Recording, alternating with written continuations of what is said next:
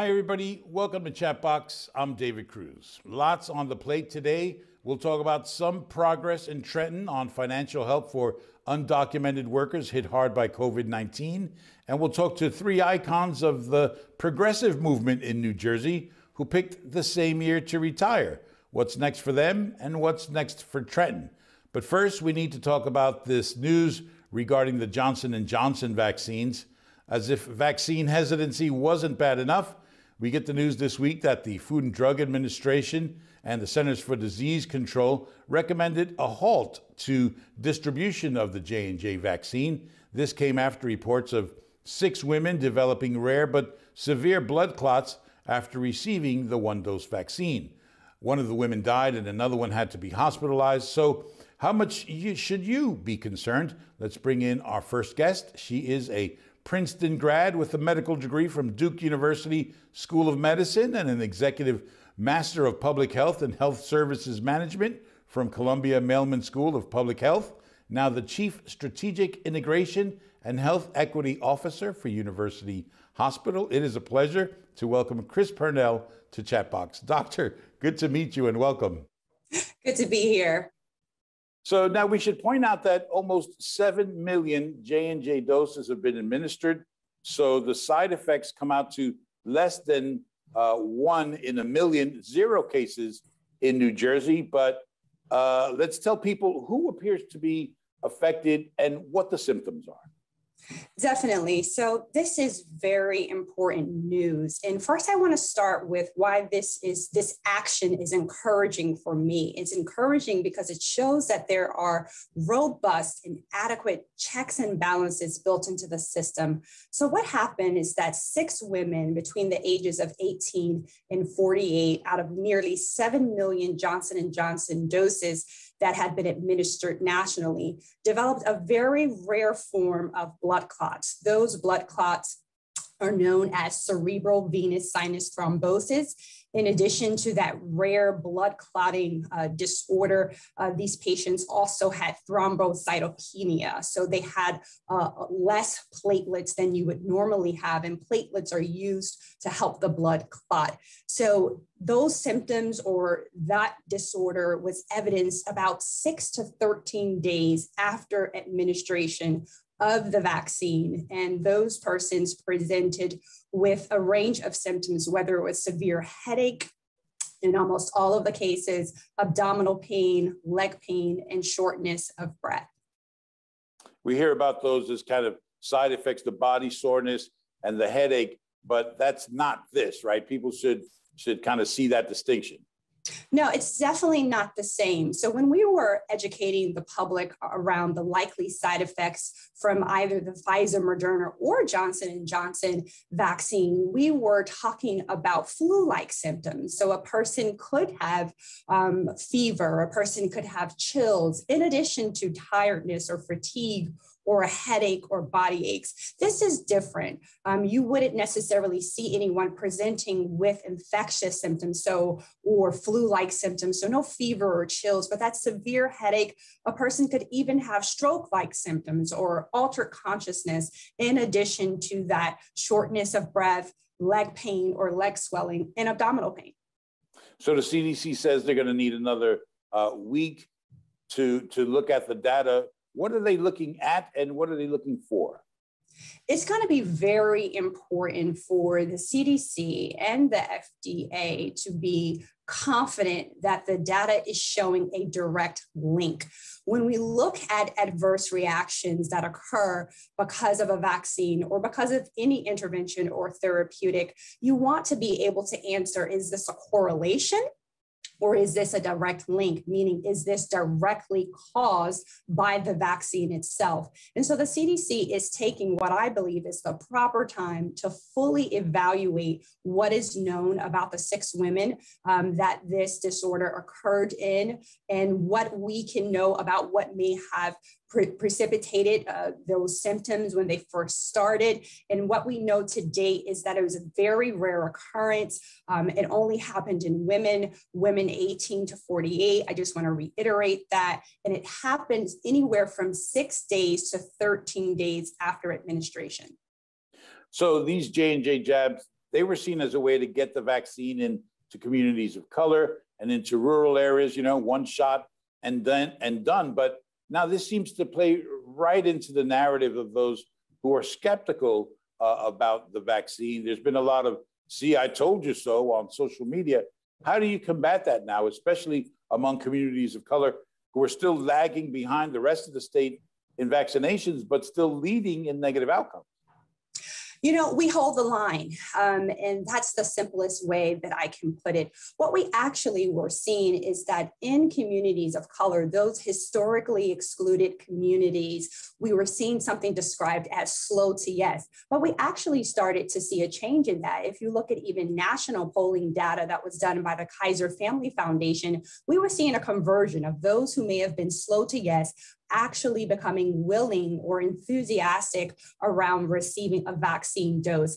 Outside of those issues related to um, hesitancy, we saw more issues related to access, meaning the time, the location, whether or not um, people had transportation to a vaccine site, issues around health literacy and language. So we're going to have to continue to double down on those bedrock initiatives that we know work, continue to explain the science in plain spoken terms, continue to explain it in socially and culturally fluent or relevant terms, and use trusted, incredible messengers. And those messengers are going to be more important than they ever were before because we're going to have to help this the public decipher what does it mean that the J&J vaccine has been paused and why did that happen and explain how that is actually evidence that the system is working effectively.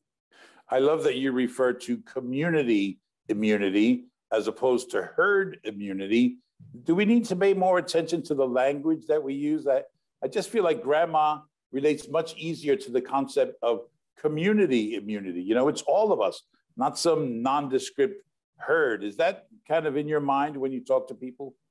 Definitely. Language matters. Uh, we know language matters when we're talking about issues related to um, equity, or we're talking about issues related to cultural competence, or we're talking about issues related to health literacy. It's not just important who carries the message, but it's also important how they carry the message, what the message includes, and what networks that message is spread along. So I, I adopted community immunity from one of my colleagues, and I thought, thought that made more sense. That's more accessible, it's easier to understand, and it shows that we're all in this together. Do we have to kind of, um, we keep hearing that more young people are being affected. Does that affect the messaging and the way you get the message out to people? I think it does. When you know different subpopulations are uh, being affected in disparate ways, or the trends are emerging in different racial and ethnic group or uh, across different age uh, distributions, you think about what's the best way to message those groups. Uh, younger folks are something that we refer to in public health as digital natives. Um, they have been raised and cultivated in a very virtual space. They understand social social media. So we need to make sure we're using multimodal methods of communication. And not only using multimodal methods of communication, whether that's Snapchat or whether that's uh, on Twitter or whether that's on Instagram, but that we're also using influencers that matter in those communities to say, hey, it's a priority for you to get safe and stay safe, and then educate on what is meant by getting safe and staying safe practicing those bedrock public health uh, measures, wearing your mask all the time when you're outside of your household, frequent hand washing, being at least six feet apart from others, and avoiding crowded and cramped indoor spaces. All right, words matter, platforms matter. Dr. Chris Pernell, good to meet you. Thanks for coming on with us. Thanks for having me. So, there has been a year long campaign to draw attention to the struggle of undocumented workers who have lost their jobs because of COVID 19. Advocates have been organizing demonstrations, and workers have been engaging in hunger strikes outside of the State House all week long. Uh, this week, it looked like finally the governor was hearing them. Politico reported that the administration was about to propose a $40 million uh, fund for one time payments to the hardest hit. Joining us to talk about that is the director of Make the Road New Jersey, which advocates for the rights of immigrants, undocumented and otherwise. Sara Cullinane, welcome back to Chatbox. Good to see you. Great to see you, David. Thanks for having me. So let's identify who we're talking about here. These are people who've been working in everything from laundromats to construction to daycare to restaurants, right, in the country without required documents and therefore ineligible for unemployment or any kind of stimulus payments, right? That's right. There's a half a million undocumented immigrants in New Jersey who are now past a year uh, surviving without relief. And these are the folks that kept us safe during the pandemic. They delivered packages to our doorsteps. They create they made meals. They stocked supermarket shelves. They are essential workers, and when they lost their jobs, um, they have been ineligible for unemployment, for pandemic unemployment, uh, for stimulus payments uh, for more than a year, surviving for more than a year without any type of relief. So you broke down what a uh, $40 million fund, which is something that was proposed this week uh, by the administration. You broke down what that 40 million would mean for those who are affected. What did you find? You know, it's we, we found that it's really just completely insufficient. The um, to put this in context, um, more than a dozen states and municipalities have taken action to provide relief. Um, just last week, New York State passed a historic $2.1 billion fund for excluded workers, immigrant workers left behind. California, Oregon, Colorado, New Mexico, um, all of these states have stepped up to provide aid. Um, and you know, in New Jersey, we have a higher share of undocumented workers in our workforce than in New York and other states. We really uh, undocumented workers are doing the crucial, backbreaking, and risky work to keep our state safe. Um, and so, uh, the forty million dollar fund is is just insufficient and needs to be more. Um, and and we're urging the governor to increase that. I will also say the legislature has also had an opportunity to act and has failed to act. There was legislation with bipartisan support that was pending all of last year um, to provide relief, and um, and leadership failed to bring that for a vote. Um, and so, you know, we're we're encouraged that Governor Murphy is taking active steps, that he's listening to the community, that he's listening to the 34 essential immigrant workers, mainly women, who've been fasting for now nine days.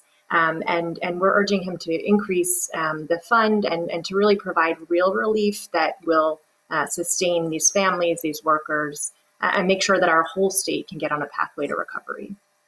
So I saw a number of like $92 uh, per person uh, who would be eligible. Uh, but then I saw, I, I, think it was from your organization, a proposal that suggested uh, a $2,000 one time payment and $600 a week in unemployment type uh, payments. Is, is that about right? That's right. That's the demand of the hunger strikers. That's the demand of the Coalition for Recovery for All. We need real relief. It's been a whole year. While the rest of the country has received $3,200 in stimulus payments, unemployment and pandemic unemployment, undocumented immigrants are um, really surviving on fumes, and it's it's time for real relief, um, not not crumbs, not um, not a pittance. We need real funds to um, to support and sustain these families. I want to play for you a clip from uh, the presumptive Republican uh, nominee for governor when we asked him about this very thing. Let's listen and we'll come back. David, the last thing that legal citizens who are waiting month upon month upon month for their unemployment benefits want to hear is that tax dollars, whether state or federal, are being used for illegal immigrants. So let's take care of those that follow the rules first uh, before we start looking to other populations. So I know that's not the first time you've heard that, but you mentioned that bill that was in the legislature uh, that was put forth by Teresa Ruiz who said, I think it was $35 million. She said she proposed that it was almost a year ago as a way to start the conversation. But as you suggested, no profiles encouraged from the legislature here. They're all up for reelection and, and seem unwilling to to uh, support a bill like that right now. That's right. And I think, you know, we have seen that undocumented immigrants are paying into the system. They're paying 600 million in state and local taxes, a billion dollars into the unemployment system coming out of their paychecks over the past 10 years. Those are the funds that are sustaining our unemployment system here in New Jersey. And so to tell someone um, that they shouldn't qualify for aid, that that they shouldn't be eligible for relief during a pandemic when they've paid into the system, when they've been part of this community, when they've been doing the work to protect so many other residents um, is just um, it's unfathomable and um, and and we're really looking for courage and leadership to to stand up and provide real relief. So, but I guess you do take heart a little bit in the sense that the governor did at least propose something, but in your mind, he's still far away from where he needs to be. It's an incredibly important first step, and we we really need to make sure that we can have real relief um, for for so many families who've been left behind from relief. All right, Sara Cullinane, Make the Road, New Jersey. Always good to see you. Keep it up. Thanks for taking a few minutes with us. Thank you, David. Great to see you. Finally, tonight, the Trinity of Terror, the Troika of Trouble, the three legged stool of social justice. After more than 30 years in elected office, serving on the local, county, and state level, Senator Loretta Weinberg announced that she will be will not be seeking reelection this year and will retire when her term ends in January. Welcome, Senator. Thank you very much. I like that. The Trinity of Trouble. After 40 years on the job, Hetty Rosenstein is retiring as state director with the Communications Workers of America. And Jeff Tittel, the man who coined the term Viagra Falls and many other groaners, announced his retirement after 23 years at the uh, at the New Jersey chapter of the Sierra Club. Uh, panel, welcome to you all. Thank you. So, Thank you. we couldn't ask so, for a better introduction. yeah, really. But but it's so good I'm curious trouble. if you could just briefly explain how you ended up doing what you did for these decades. How did it start for you, Senator? Uh, well, you know, I tell people I came of age in the 60s. Uh, we had moved to uh, Teaneck, settled down with my husband, two small babies, and a dog. And there was the anti Vietnam War movement, the women's rights movement, the civil rights movement, the school integration issue. So I uh, barely unpacked my dishes, went down to the local headquarters to volunteer to make the world a better place, I thought, uh, for my little ones. Hetty, were you always going to be a union organizer? Did you come from a union family? I did come from a union family, I, and I came from an activist family it, it, from the womb. But I was a teacher at the New Jersey Job Corps, and we hmm. didn't have enough. Our working conditions were so bad that we couldn't teach. And so my sister was organizing a union in New York. And so I thought, well, we'll do that. We'll organize a union so that we can do our jobs. And at that point, I didn't even know CWA was there. What year was that? That's 1979. 1979. you, I end up with CWA in 81. Yeah. Jeff Tittel, you've always been a troublemaker, I imagine. I came from a family of activists. My grandparents, uh, my parents were always very much involved. I did my first sit-in when I was four years old on at, at Woolworths uh, during the civil rights movement, and my family helped start the first interracial camp in New Jersey, Camp Midvale, which is now called the uh, Nature New Nature Friends Camp of Weis Ecology. Um, it was the first interracial camp. You had to be a trade unionist and an environmentalist. Growing up in Hillside, you know, in, in Newark on the border, you know, we had founders in the area. You could write your name on the cars. You could throw matches on streams right. and they flare up. I go up to Ringwood in the water. You could drink out of the stream. So I had that progressive ethic and a activist ethic from since I was born and an environmental ethic as well. You know, and David, people, my they... family went to that camp. Mm-hmm. Oh, did you? Yes, yeah. my family you, went you to that. into one another, though. And I remember it. Mm-hmm. Still there. You know, Gotta get most your back. people who come on to the Zoom uh, uh, type calls, they usually go in front of family pictures or in, in front of uh, impressive bookcases with important titles. Jeff Tittel shows up in front of his bar. so, I noted that. so, what was the biggest difference in Trenton when you all got to Trenton? Let's start with you, Hetty. Um, when did you get to Trenton, and and how different was it then than it is today, if at all? Oh, yeah, it was very different. Well, I was a lot younger and much more idealistic and hadn't seen all that sausage making at the time. But here's what I will say the legislators acted more on their own. Now the leadership really, it feels like controls everything. There were a lot more um, legislators who would sort of speak out. That's how I remember it. And a lot more mavericks at the time. Jeff? Yeah, I first started going to Trenton when I was in college, driving Alex Menza, who was a s- progressive state senator from Hillside, where I grew up. And you, and you really had people who were dedicated to changing the laws and moving things forward, and even standing up, you know, to their own party. And when I started getting active more on my own in the environment later, you know, I walked in, I had a meeting with Helen Fenske, and she said, "Whatever you need, you're getting active in Ringwood. We need someone to get active up there in the Highlands." And so, you know, you, you felt that government responded and that the legislature responded. Today, things seem to be more on autopilot, and there's just too many bobbleheads. Well, I, I, I was going to go to Senator, uh, but I didn't want to go after you called them all bobbleheads.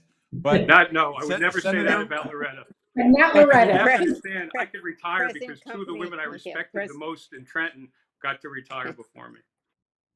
Thank you very the much. uh, Present was the company Senate much excluded. more full of independents, Senator? Well, when I came into the Senate 25 some odd years ago, it was completely dominated by Republicans. So, yes, it was very different for me. When I came into the assembly, there were 22 of us, 22 Democrats out of the 80 members, and only one other woman in our caucus who soon left to go into the uh, tail end of the uh, Florio administration. So we were a uh, ineffective minority, to say the least. Uh, but it was a great learning process. Um, uh, am interested in what uh, you know. I I probably agree with what Hetty said. Um, more leadership dominated in terms of the agenda and what gets posted and committee assignments and so on. But there is still plenty of room in both houses of the legislature for those legislators who choose to be passionate about an issue, about moving legislation forward for an issue, about engaging advocates and grassroots support. So I think there's plenty of leeway and plenty of room for that kind of um, individual action. We, we have a viewer uh, question. Uh, I'll paraphrase. Uh, Hetty, you kind of touched on this. Um, you said you were much more idealistic uh, in the earlier days. Um, I, I guess I'll ask uh, you, Senator, and Jeff, if some of that idealism has has gone away, and how do you try and keep some kind of idealism going? Let's start with you, Jeff, and then we'll get the senator. Well, I've always been sort of a cynical idealist where I know things are stacked, but if you work hard, you mobilize the public, you can win. And that's been the history of New Jersey from stopping offshore dumping to protecting the highlands and one thing after another. So, yes, there is a little cynicism, but I've always been an idealist. And I think you wouldn't do this if you didn't have the hope that you're going to make things better. Senator, you're a bit of a wisecracker, but are you a, are you a cynic? No, I describe myself much more as maybe a, real, a realistic optimist. If I wasn't optimistic and an idealist, then I don't think I could have stayed in this as long as I have. I have the optimism to believe that we can really change things and a passionate belief, which sometimes I wish I could get over, so that I hmm. didn't feel so passionate about issues. But um, along with Hetty, and I know that though she might have become more cynical or realistic, however one wants to describe it over the years, we both share, sometimes from opposite sides of a given issue, we both share that passion along with Jeff. I think that's the one word that would describe the three of this trio of trouble as you introduced us. Hetty, you have had to broker some deals. Uh, have you been able to maintain any kind of idealism through this? Oh, yeah. I mean, look, you can't fight for justice for decades if you don't really believe in it. And here's the other piece of it if you have deep convictions, you have the courage of them. And if you have the courage of them, then you have some optimism. Um, and I will say, on the other side of what I said, there are more coalitions active now than there were 25 years ago. I mean, I was a founding member of New Jersey Citizen Action. We were the only game in town at that point. And now there are dozens of progressive organizations. There's Make the Road and unbelievable leaders like Sara and, um, you know, an, an incredibly vibrant immigrant rights movement in this state. Um, you know, there's a huge fight over racial justice going on in this state. That was not the case um, at that point in time. And there was some, but there is activism and deep organization. So yeah, I'm hopeful. I'm not not hopeful, um, in spite of seeing a lot of sausage making. No, I'm I'm hopeful, and, uh, and and I'm still in this fight. I feel. I have another viewer question uh, asking, what is your proudest moment, your uh, the accomplishment of which you're most proud? Let's start with you, Jeff. I think getting the Highlands Act passed. Um, you know, it, and as Loretta knows, there was a lot of lot going on, but I think that to me, trying to protect the drinking water for six and a half million people, to build a land Mhm. use model to pr- protect that area, eh, with all the backlash from builders and you know realtors and everyone else. I, I think that was a major accomplishment of, of mine, and I know it's, and Loretta I know was part of it, but I think to me that stands out. Senator, I'm not going to ask you to list all of your uh, legislative accomplishments. If you could put the, them all together and kind of define what the thing that you're most proud of uh, about yourself, about your legacy. Well, I think it's easier to say what I'm most proud of about a whole series of pieces of legislation that really affected people's lives. What Jeff talked about really affects people's lives. So I have a series of legislation uh, requiring 48 hours for new moms and their babies in the hospital, banning indoor smoking, um, marriage equality, reproductive rights for women, a whole litany. What it all comes down to is a fight for the people I know best, for the women who are raising children, taking care of the frail elderly mother, the young married couple struggling here to try to get a little piece of uh, real estate to call home. All of the things that I've shared with so many other residents of the state of New Jersey. It's what spurred me here, what kept me here, and what I really know best. Hetty, how about you? I mean, you. you've, uh,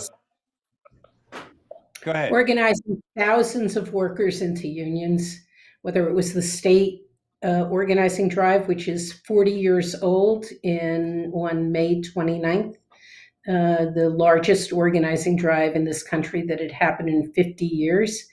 7,000 home child care workers, public defenders, thousands and thousands of low wage workers becoming union members. I'd say that is the first. And the second is, of course, the first full pension payment in 25 years And I hope that I contributed to the fight to get that payment. All right, I'm You running know, out of time here, so I'm going to Uh, well, merge let- two. Let me just add, it, it's a privilege to be here with these other two giants. And I look forward to the three of us getting together when our retirement takes place, planning our own revolutions. With some of that alcohol, some of Over Jeff's, drinks in, in Jeff Tittel's bar. exactly. Yes, uh, I got plenty of wine too. So I- I'm running out of Illegal time, so I'm cannabis. kind of, I'm going to kind of merge these two questions. Uh, Who was your favorite governor to work with and or against? And give me a, a letter grade for the current governor. I know Chris Christie once famously suggested that someone take a bat to you, Senator.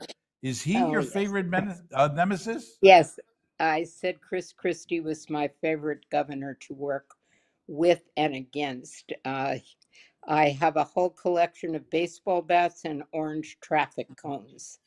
Uh, thanks to Chris Christie. Uh, he was an interesting adversary and he was wrong on so many issues, continues to be wrong on many of those issues.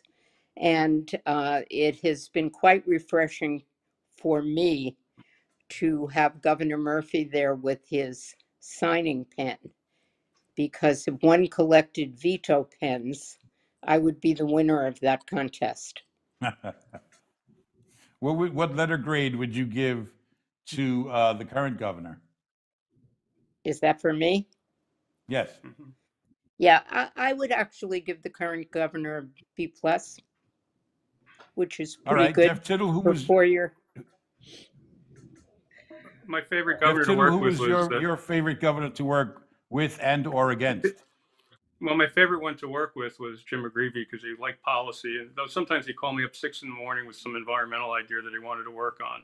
But I think we got a lot done under him with the clean car bill and uh, the Highlands and C1 streams and their first renewable portfolio standard. Chris Christie was my favorite to work against because we would, you know, like one time I didn't go to one of his press conferences on the environment and he had me, they called me up to say, weren't you there? He wanted to have a fight with you. Um, so I think it was him. So, you know, in that respect, because we had that, you know, back and forth a lot. Um, he, you know, he'd make fun of me, I'd make fun of him a little bit. So it's kind of fun to banter. Um, Governor McGreevey, uh, excuse me, Governor um, uh, Murphy Murphy? has come forward with a lot of uh, ideas and programs, but a lot of them have not gone in place yet. And so, even though I'd like to give him like a B plus or an A on, on what he, he said, it's really closer to an average because we, you know, it may get done in the second term, but right now, you know, we still have a lot of Christie rules in place. We still have a lot of Christie people on Highlands and Pinelands, and there's some good things he wants to do on on you know green energy, but we got to get it built. So I think you know where he wants to go is a B plus. Where he is is somewhere a little lower than that. All right, let's call it a C. Hetty? Oh, well, you know, Chris Christie gets, uh, the- you know, the number one from all It's of us. Unanimous. He was an amazing rival, that is for sure, and did a lot of damage. So there's no question I put him eh, there.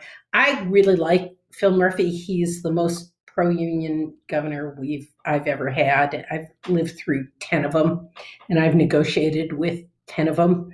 And he really fundamentally believes in collective bargaining. I think he's done an incredible job under unbelievably difficult circumstances. I also really liked Jim McGreevey. It's impossible not to really like Jim McGreevey. Mhm. But I give um, Governor Murphy an A. All right, fair enough. Hetty Rosenstein, Loretta Weinberg, Jeff Tittel, great to see all of you again. Don't be a stranger, as they say, and, and thanks to all of you for all your good work. Thank you. That's Chatbox for this week. Thanks to our guests, Chris Pernell, Sara Cullinane, Hetty Rosenstein, Loretta Weinberg, and Jeff Tittel. You can follow me on Twitter at David Cruz NJ, and be sure to subscribe to the YouTube channel to get more Chatbox, plus other great content like Reporters Roundtable, NJ Business Beat, and NJ Spotlight News with Briana Vannozzi. I'm David Cruz for all the crew over here. Thanks for watching. We'll see you next week. Major funding for Chatbox with David Cruz is provided by NJM Insurance Group, serving the insurance needs of New Jersey residents and businesses for more than 100 years. The members of the New Jersey Education Association, making public schools great for every child. The Fuel Merchants Association of New Jersey, the National Oil Heat Research Alliance, and BioHeat, the evolution of oil heat. Promotional support is provided by Insider NJ, a political intelligence network dedicated to New Jersey political news. Insider NJ is committed to giving serious political players an interactive forum for ideas, discussion, and insight. Online at insidernj.com.